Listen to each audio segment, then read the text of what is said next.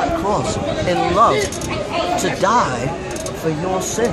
Did you know that the Let, let me finish. Let me okay, finish. okay. To die for your sin. And it says God demonstrates his own love to us that while we were yet sinners, Christ died for us. So that's the greatest love. Now, anybody in It's a history. great, it's a, it's a great love. A- a- It's a any- great love. anybody in history, like the Crusades, and they kill and murder, that is not what Christ taught. And the disciples, Paul, Peter, and his disciples, they never started an army to defeat the Roman Empire. There were people who just went preaching the gospel. They were locked up. Have you read Paul in what 2 Corinthians 13? 2 Corinthians 11 to 13. He was whipped, beaten, mocked. He never took arms. And they defeated the Roman Empire, not by weapons, but by So- some historians- that some Nero, historians would disagree with well, that. Nero, They really would disagree Nero with that, got. Christians and put them on torches for his garden and burnt them. I understand. So, I so they but people were doing that. People, people They defeated. They defeated the Roman Empire not by sword, many, many but historians. by love. Mate, listen, Alright, many historians. Thank you. Many Last, historians. last bit, Many, and then we're finished then. why?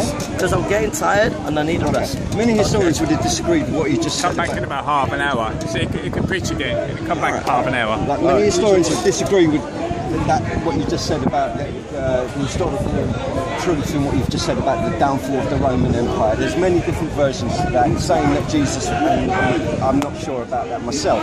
In terms of like the black and white and, and right, listen, I, I'm in that world. I'm in that. I'm in the same realm as an experience of you, where we live in duality, man. Where, so if the modernists are saying that there's no right and wrong, is what you were saying, I think that's nonsense. We're living in a world where we have cause and effects, the right and wrong. Oh, sorry. Okay. Now I'm just saying that within that, within that, see, the, the, the, the point of what I, I believe religions are doing is they're trying to get you to have a, an awareness of yourself, an awareness of your actions, an awareness of your thoughts. Right, they're, they're, they're doing all this, and religion takes that and says, "Well, we know, you know, that everyone goes through these kind of uh, experiences of questioning and all the rest of it within themselves. That is just normal, so-called human, humanistic behaviour. What I'm saying this: that I'm not disagreeing with that. I'm just saying that that is happening for a reason. When people say, "What is the purpose of life?" You can say what you want, but I'm saying it is about the refinement of what we are, what we truly believe, Can I ask and what we this- can I- truly can are. I, I hear what you say. Can I ask you this question?